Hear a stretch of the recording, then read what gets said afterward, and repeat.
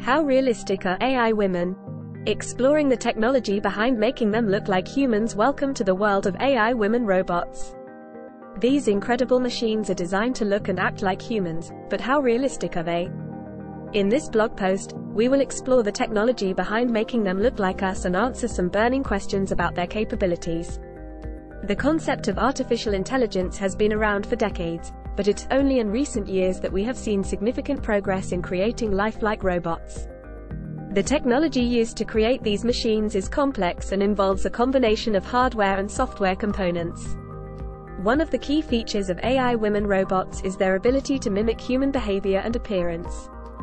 This is achieved through advanced algorithms that allow them to process data from sensors and cameras, which helps them recognize objects and people.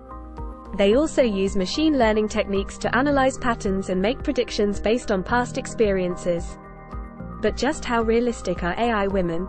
While they can certainly pass as humans in certain situations, there are still limitations to what they can do. For example, while they may be able to carry out simple conversations, they may struggle with more complex topics that require emotional intelligence or creativity. Another area where AI women excel is in performing household tasks.